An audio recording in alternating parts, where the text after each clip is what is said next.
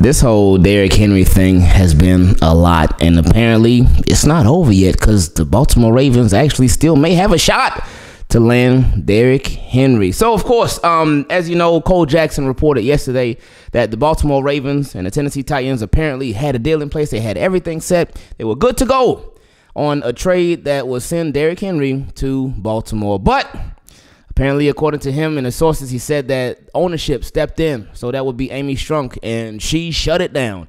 She said no. She did the whole Adam Silver when the Lakers were trying to acquire Chris Paul some years back and they shut that down. They did the whole Roger Goodell. I remember when the, the Ravens were involved in like this three team trade that where they would have ended up in the long run with Jadeveon Clowney, but years ago. And I forgot the other two teams that were involved. I don't remember if it was the Saints or the Jaguars. I always forget. Maybe one of y'all will remember. But anyway, it got shut down. But according to Paul, Paul uh, who covers the Tennessee Titans, uh, he said on Amy Adams Strunk, that's Titans owner, uh, but on her vetoing a deal for Derrick Henry, not true. So he's saying, oh, that, that did not go down. That didn't happen. So it, it's a lot of back and forth. But the good thing to know is that by today, by 4 p.m. Eastern Time today, whether it's true or not, whether it goes down or not, whether this trade happens or it doesn't happen, we will officially know by 4 p.m. today. And whatever trade the Baltimore Ravens may do or may not do, uh, we'll know by today, and it will be official by today, which is a beautiful thing because ooh, I know a lot of y'all with all the back and forth, it drives you crazy. For me, I, I don't mind it so much. But I know for a lot of y'all, it, it drives you crazy. Now, one thing to keep in mind uh, with this whole Derrick Henry thing, and, and really just any possible trade that happens today from any team. Adam Schefter reported yesterday, he said any long shot chance of a potential Derrick Henry deal diminished even further at 4 p.m. today, which was yesterday. Uh, he said when the deadline passed for him to restructure his contract ahead of Tuesday's trade deadline. Henry has 5.5 mil left on his deal. I don't think it's going to happen, a source said. So uh, that means that that 5.5 mil that's left on his deal, uh, a team would have to take that on. Um, and the that will get divided up uh, into the remaining. What the Ravens have nine games left. So yeah, they six and two, so they have nine games left. Uh, that will get broken up into those nine games, but they would still have to pay that five, that entire five point five mil, all to him. So that could make things a bit trickier if they weren't already tricky enough uh, between the Baltimore Ravens and the Tennessee Titans. But there is still a sliver of hope. Now, um, with it being the trade deadline, uh, we got some questions. So people sent in some questions uh, that they were like, "Hey, we, we we trying to get the answers to these, but before the trade deadline." Uh, and you know what? Just because we ain't gonna have no time to do them later, because I mean the trade deadline is gonna come and go in a couple hours. Let's go ahead and talk about these right now. The first one came from my guy Raven Pride. He said, "What up? It's your boy Raven Pride." Hope you and the family are in good spirits as well as Ravens fans. We have to be honest about the business of this sport.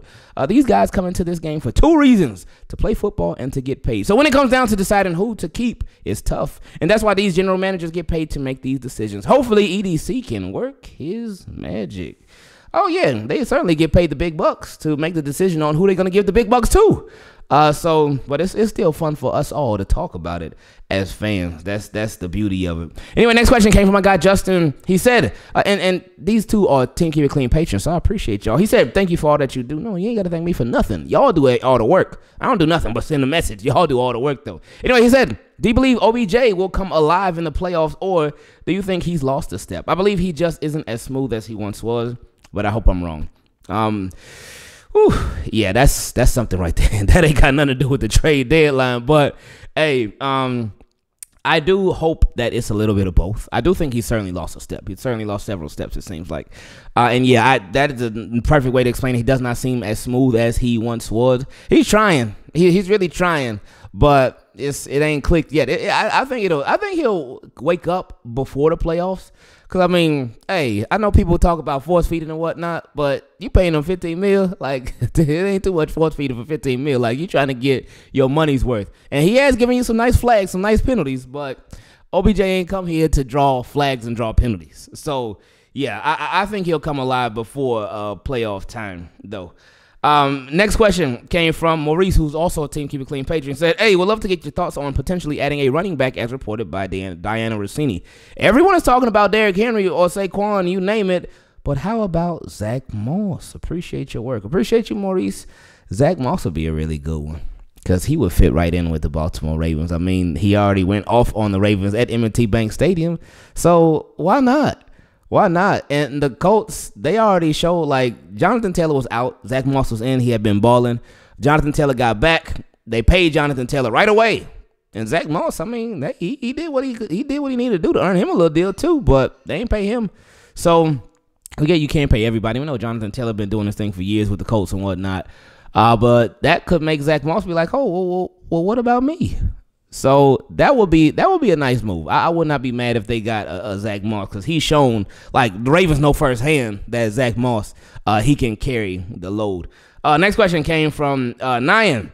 Nyan always asks some fire questions, by the way. Uh, he said, Hey, Ingraven, Nyan here, wishing you bountiful health and success for you and the fam. Appreciate that, man. So, two points here. First point, I didn't care personally to get Derrick Henry. Gus Edwards has the same production with less carries. All we be paying for is a name and reputation. And with Gus getting three touchdowns against the Cardinals, it's almost like he said, Derrick, who? Now, I get what you're saying, but I think it's more than that. I think you would be paying for uh, a running back that can also get the job done, that can carry that carry that load as well um, and somebody that has experience, especially in the playoffs as well. Uh, so yeah, it's, it's more than just a name. Uh, I see where you where you getting at, but I think it's more than just a name. It's somebody that, that can ball too. But anyway, he said if anything, we should look to acquire more depth at corner, receiver, or defensive line because, in my opinion, Clowney ain't it. All right, now we got a problem. Now we got a problem, Nyan. See, I I, I I ain't appreciate that. I ain't appreciate what you said about my guy Clowney. I, I, I don't like this question anymore. You, you started off hot, but then when you said that, I didn't appreciate that. So I'm, I'm gonna need you to issue a, a, formal apology, not only to the team keep it clean, but not only to the Baltimore Ravens, but to Jadeveon Clowney specifically. I need you to issue a formal public apology to hashtag JC24. But we'll continue just just this once. Oh, he said, um, second point, it's funny that Geno Stone continues to impress and make us and hopefully the front office believers. During the game, one of the commentators mentioned that we haven't seen something like this since guess who? Ed Reed. I'm just saying, per my last email, hashtag trade Williams 2024 offseason. Oof, we'll talk about that later. I, I, can't I can't argue with it though. I can't argue with that one. We'll, we'll, we'll, talk about that later this week. Anyway, he said, I know I said two, but I'd like to say something else that's funny. With our defense playing like it has been, I'm more excited to see the defense than the offense lately. Initially going into the season, I was excited for our offense, but this defense got me hyped. Oh man, I I wouldn't want to take it back there because I, I remember the days like watching the Ravens of old when I would be more excited to see the defense than the offense.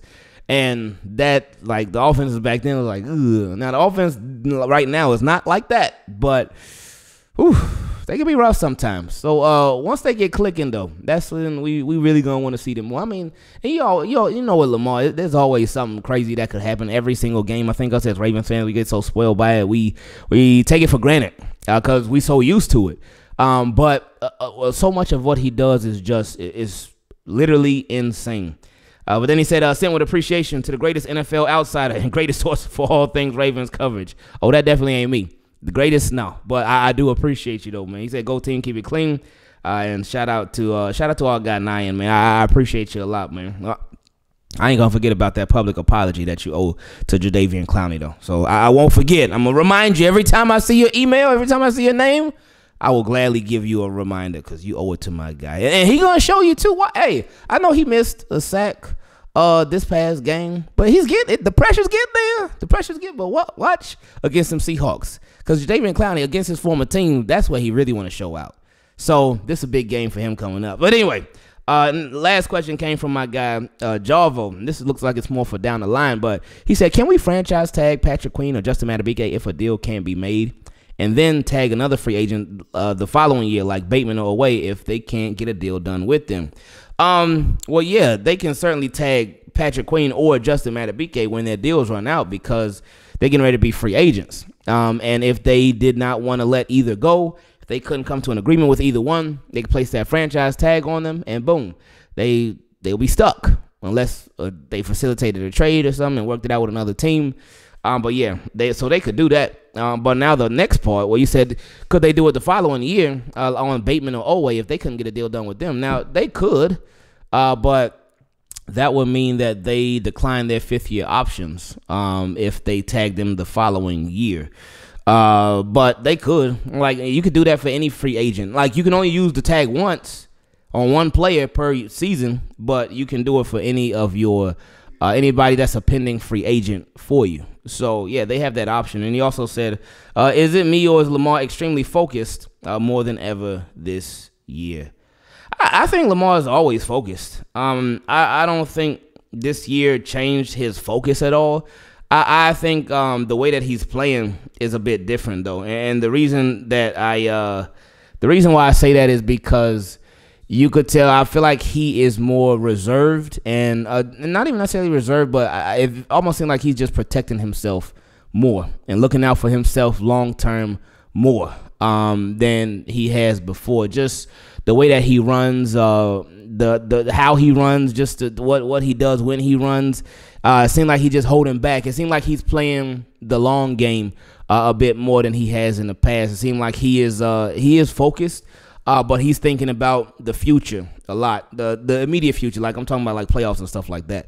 And it seems like he just really holding stuff down and reserving stuff until they get to there. Not saying holding plays back, not saying even, but but just the way that he, I, I feel like he's uh he's not playing as loose as he has before. Still playing good now, but not playing as loose. So I still I, I think he waiting to get loose until later on in the season. But yeah, especially come playoff time, then I think that's when I think he's gonna go crazy and really put it all out there.